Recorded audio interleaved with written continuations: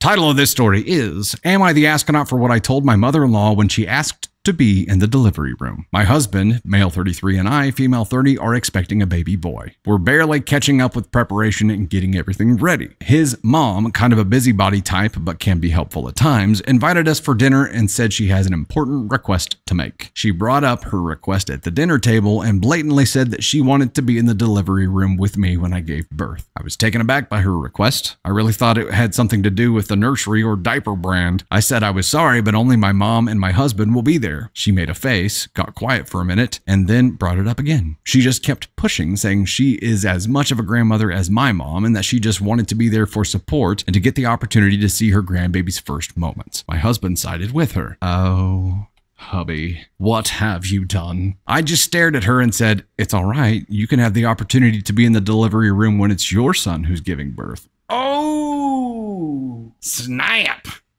Like literal.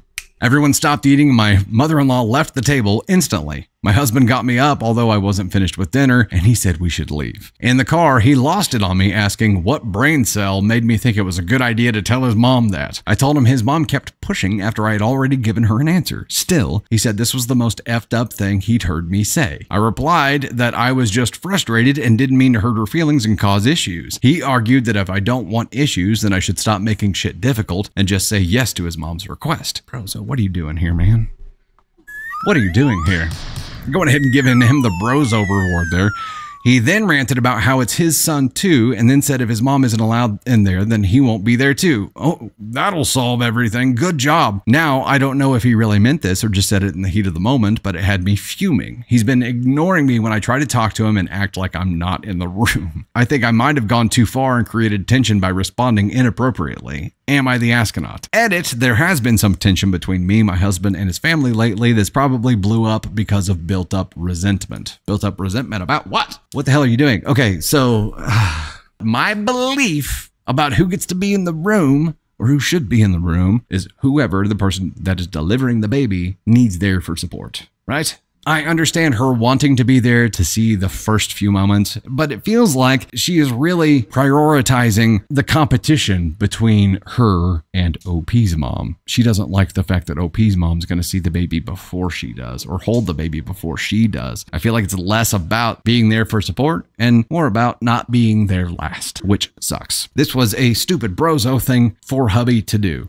and he is being manipulated by his mom. He's pulling the mama's boy shit here. He is not siding with his wife. He's choosing his mom, which is a very stupid thing to do. He's going to land himself in divorce court here soon. And his baby's not even here yet. Like, bro, bro, choose your wife and understand that the people in the room are there to support the person who's pushing another human out of their body, not those who are just part of the making of process. And yes, it's her grandchild too, but she's not going to be able to do anything for the grandchild. The grandchild isn't going to know if she's there or not. So that this argument is invalid. It's whoever the person who is pushing the other human out of their body, whoever they need there for support is who gets to be there. You don't get to just push your way in because you don't want to be last. If he wants to get in stirrups and spread his legs and let let OP's mom come inspect him, then that's a fair deal. But also, he'd have to be pushing something ginormous out of his body during the process. And then it comes with luggage that nobody warned you about the first time. It comes with luggage. That placenta is like an alien egg that comes out afterwards. It's like, I didn't know this kid brought luggage. I didn't know it had a, a suitcase with it. Was not informed. That was a brozo move. The question here from OP was, Am I the astronaut for what I told my mother in law when she asked to be in the delivery room? I'm NTA here. She kept pushing